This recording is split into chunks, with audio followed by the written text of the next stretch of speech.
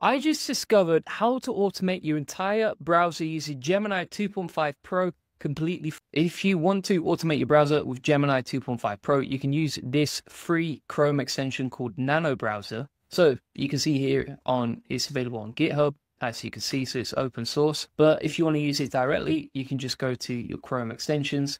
And then from here, you're going to select Nano Browser. Make sure you've already installed it from the Chrome extension and then you can start using it. And to set this up, essentially what you're going to do is you're going to go to your settings inside Nano Browser, and this is how you can get your browser agent to start using it for you. So for example here, you can see I've typed in my AI, my API key. If you go to the options, you can select the models, and inside here, we can select whichever model we want, right? So if we've put in our API key as Gemini, like you can see, then we can put in the details. We can add multiple different providers as well. So you can use Open DeepSeek, Anthropic, OpenAI, Grok, Ollama, even so you can use like a locally hosted API